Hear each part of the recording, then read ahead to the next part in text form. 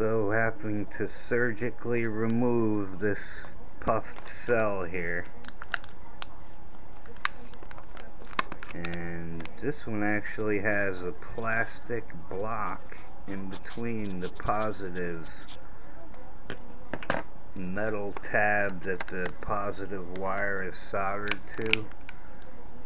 There's a plastic block in there. That's a good thing because if you crash and smash it it doesn't smash it into the other side which is negative.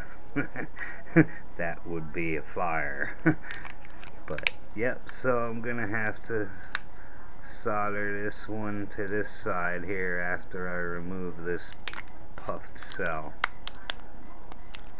And then it'll be a usable battery again but a three cell. And that's your GNB 1500 get a good shot of that